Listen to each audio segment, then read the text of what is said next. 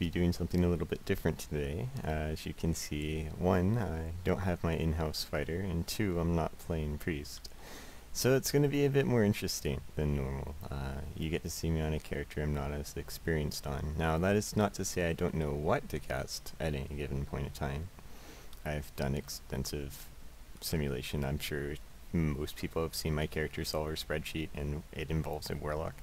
So that is not to say that I don't know what's important to cast at what time, but I have really bad muscle memory. I play through keybinds and all those buttons over there. Uh, I don't particularly have through instinct at this point of what button goes to what key.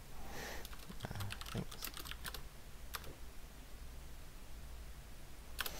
so, in terms of uh, keybinds as well, a lot my keybind configuration, uh, as in the key map of what keys go into which hotkeys in the client, was written with the playing a word in mind. It was not written with playing a warlock in mind. So, uh, in terms of the keybinds themselves, they could probably be a bit more um, optimized. Uh, but I don't want to fix it because I, I never play this role, or I very rarely play this role. Uh, looks like we're looking for one more. I was planning on hoping finishing this monologue and then we, we get into zone. So I don't particularly view warlocks as a very difficult to play class. Uh, a lot of people tend to, but generally what you want to do is build up increments, hit your temps, and then blow your increments. If you have time warp, uh, hopefully you time it with time warp where the illy helps you out. You call for time warp. Time warp is called for somehow, uh, and that goes off. Uh, surprisingly, the temporary charms like Hemp and Halter, um, if you have group-wide Hemp and Halter, it's at low levels of crit bonus and potency. It's actually more important than Time Warp, which isn't too surprising if you actually look at the numbers. But it, the fact that you, casting outside of Time Warp is better is weird when you have such high uh, double cast through just normal itemization now. Let's see anything else. Um, minor minor things that you can do to min-max is uh, cast your mythical during a mid-cast on your first spell. Doesn't sound like much, but it will increase the damage of that spell by a lot because it, it counts as casting an ability, and that increases your crit bonus and potency through the new prestige 2.0 inlines. It's something I haven't gotten in the muscle memory of doing is cast spell and then go into mythical clicky midcast. Uh, obviously much easier to do this with the keybinds. It's probably not worth it if you're going to click your keys manually. Uh, just because it's going to be very stressful. The amount of misclicks will be high. Uh, your first spell will be changing a lot. Um, just another reason I really like keybinds. Let's see, anything else? Um, probably most interesting or powerful thing you can do on a warlock is do two sets of 180 increments uh, detonations during one set of focus casting. What that looks like is um, obviously potency, clicky, focus casting, detonation into like Cataclysm into AoE detaunt. You might want to do the AoE detaunt first, actually, come to think of it. That would prevent you from dying from the Cataclysm detonation. Anyway, so AoE detaunt into Cataclysm, into uh, Blast of Devastation, into like Skull Explosion, into Rift, and that should get you enough increments to detonation again. And that actually is kind of mechanically intensive. You have to cast a lot of spells very, very quickly to build increments, and you do have a quite a, a small time. You have it, it's like easy to do, but it's not. You you need a practice of it um, to reliably do it. you'll probably see me fail quite a few times because I simply haven't put on the hours in this character. But that's, in my opinion, the hardest thing you can do on a warlock. Anything else is um, just really easy stuff. Like you see something coming towards you, you AoE de, de it, or you force you target nearest and then you drop a position, or stuff like that. Or just knowing what to cast ahead of time.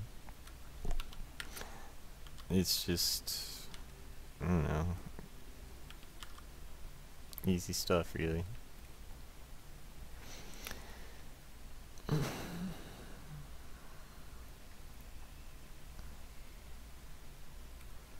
Wonder who that wording cast that on. Okay. I was too slow. I was curious to who that she put Spirit of Fat on. She put on the assassin, she put it on a fighter. It's not because I I have I think one's correct or not. I mean, I do think the assassin is correct, especially for a trivial zone such as dinos.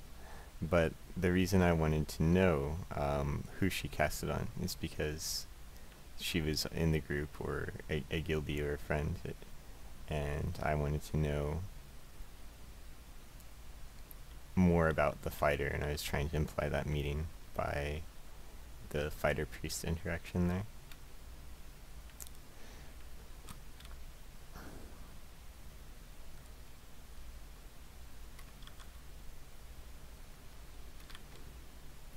I almost forgot a Tymphodon, that would be really bad.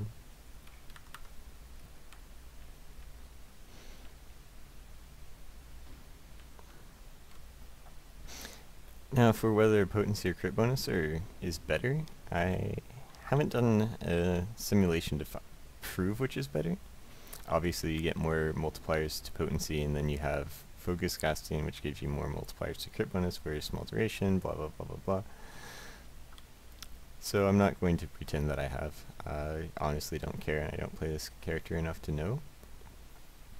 But I can make a very good estimated guess. And the estimated guess is because auto attack damage is so important now uh, because we got just crap tons of weapon damage bonus from the new Fable gear and we get um, not cork studs but warped machine screw which gives even more free weapon damage bonus.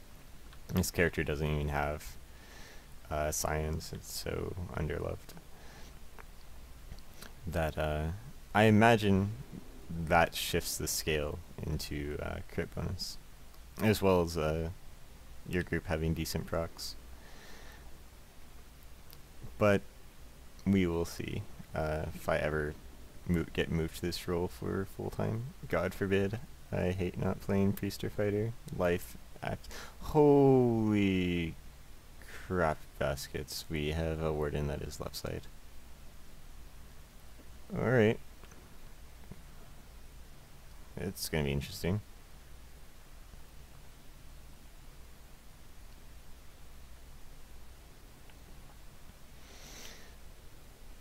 Let's see. Yeah, they got the stun immunity too. How do... I guess groups just don't do damage Yeah, yeah, see, so you have the stun immunity. Plus knockdown immunity. I think it's the only skill in the game that gives knockdown immunity. Kind of cool.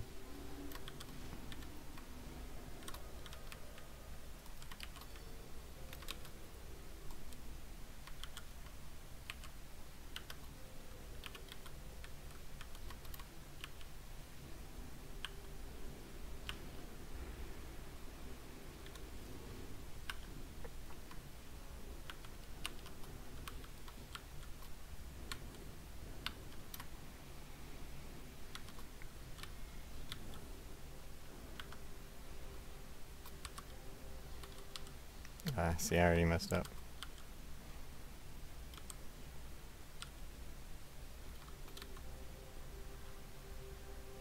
I should not have cast Flames of Velious there, I should have cast um, Distortion.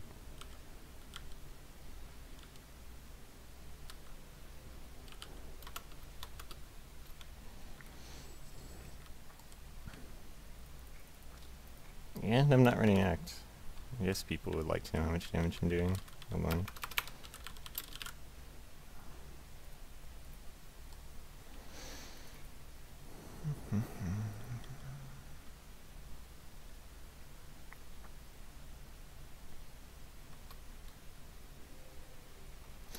Cast that to cancel uh,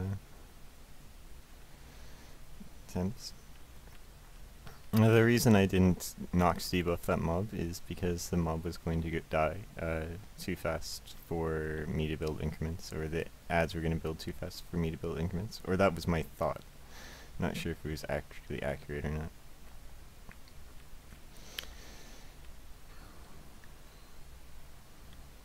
Oh, we have an illy. Wonder if Time Warp was cast. Oh, Time Warp was cast. Oh. See, that's what I get for not having act triggers.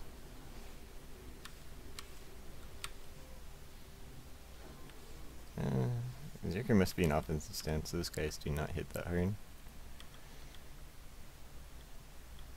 Not that I disagree with being an offensive stance here. Forget what the offensive stance looks like.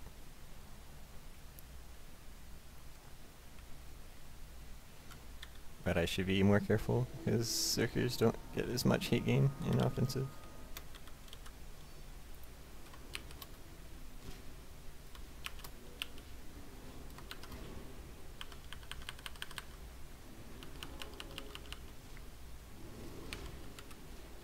Dark.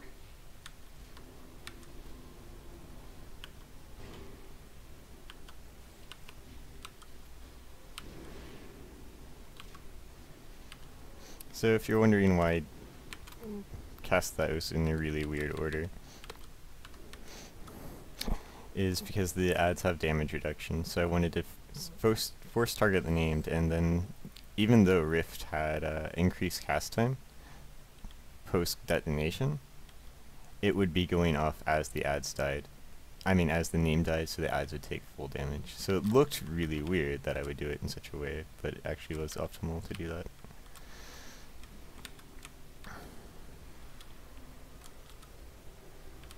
Dark. Oh, I should have cast uh, Damnation way earlier. This Acid Storm's gonna be late. AoE detaunt, so I just don't die to that.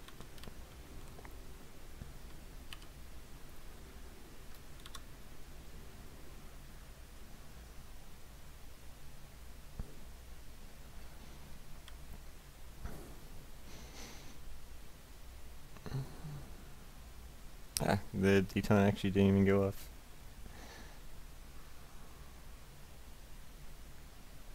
I wonder if it's because it was on a slope and no, like that detaunt goes through walls and random shit. I don't know. That's weird. I'm kind of here for literally no reason at all. Other than I just want to kill this before things get messy. Oh, we actually have T-Shell. Great. Great.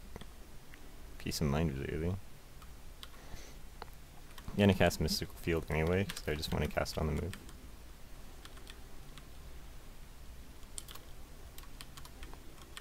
Cast my Mythical Mage cast. Whoa, why do I have aggro? Try and drop, try and drop, try and drop. Alright, we're good? We got it.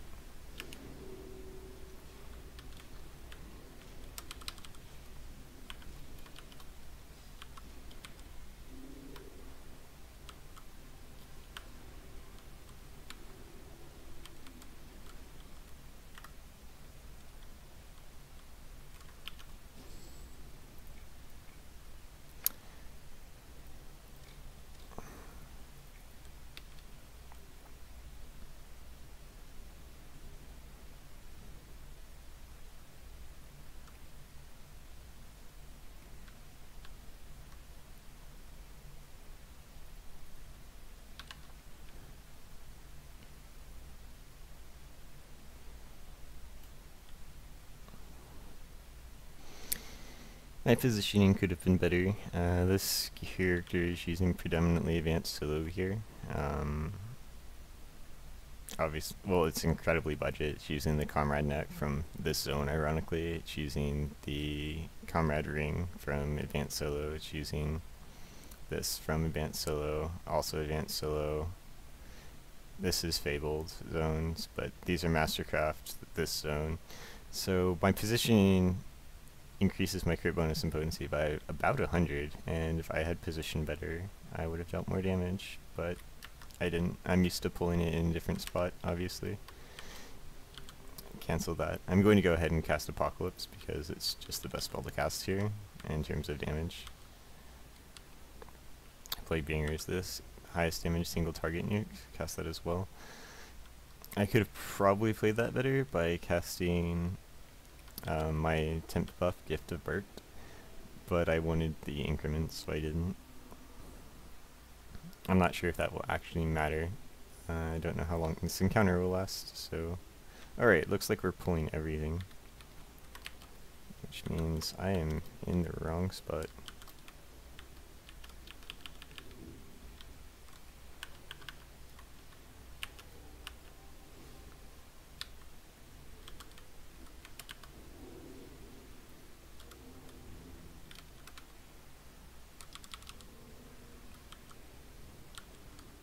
He's dead. I'm gonna detaunt here to Dark. live. Dark. I'm not gonna cast for three seconds, hopefully. Stun break.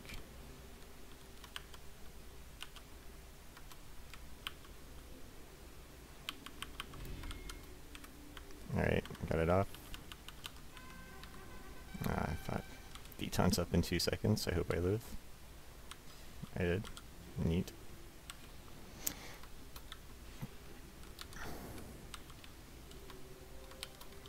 Change the single target spells with the Warlock Mythical.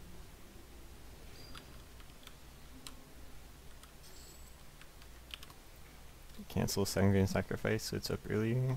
Go ahead and cancel Skull Focula as well.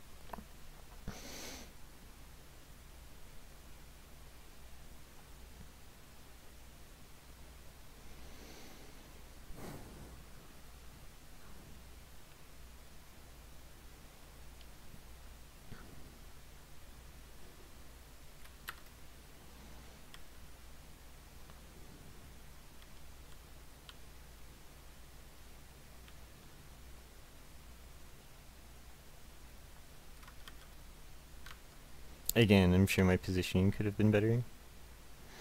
If you're paying really close attention, you saw me cast Rift early and there are no targets in range, simply because I don't know the range of the AE. That will come with practice. Again, like, no idea what I'm doing in terms of mechanics of this class. Know what to cast, when to cast, just not the finer elements. Dark.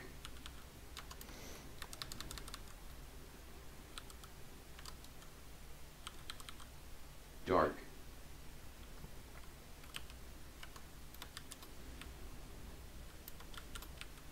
Dark. blowing increments there because I just want to, basically. uh, I expect them to be up for the next named. We're already at 96, and I believe there's another wave or two. Yeah, there we go.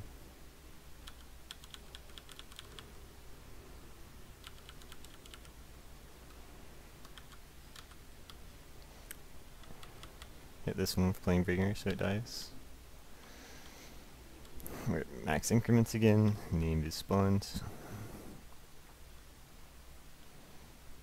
Focus casting will be up soon. Recast the uh, temp that stops me from dying. Completely pugged, by the way. Everything about this group is pugged.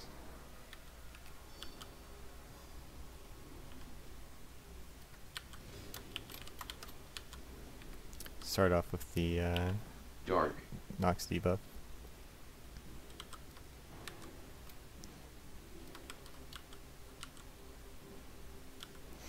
Alright, so I don't expect to be able to get two sets of increments here. I just don't think we have... I think our damage is high enough that that won't happen. So I'm saving my increments until the mob has damage reduction, and then I'll cast them. A joke. Uh, I actually am doing that though. I actually got the focus casting reset. Neat. can cast that right now because I can cast it Parasite on spells. And that's the zone. Obviously, Dino, so nothing impressive to see, like visually, but hopefully I explained the mechanics of my decision making process rather well. Darn, I don't get to lose a Mage Ethereal. Oh, actually, yeah, I'd probably lose it to Lily. I am terrible luck on rolling for Ethereals.